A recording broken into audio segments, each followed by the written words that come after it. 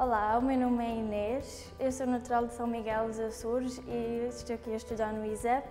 Estou a tirar um mestrado na Engenharia Eletrotécnica Sistemas Elétricos de Energia. Inicialmente, na minha adaptação foi um bocado difícil, principalmente em termos de linguagem, porque os meus amigos não me percebiam e eu usava expressões muito diferentes. Uh, uma das expressões que, que eu gosto muito de dizer é "oh coriscos", que, e que significa que são assim traquinas ou irrequietos. Tenho muitas saudades de ver o mar, aqui não vejo com tanta frequência, por isso a primeira coisa que faço é logo ir à praia, que também gosto muito. Uh, e logo a seguir gosto muito de comer chicharros fritos com molho de vilão, que a minha avó faz.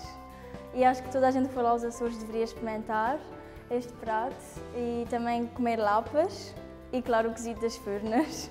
Eu gosto muito de estar com os meus amigos, de ler, de ir à praia, gosto muito de festas de verão, gosto também muito de viajar e a minha viagem de sonho seria ir à Tailândia.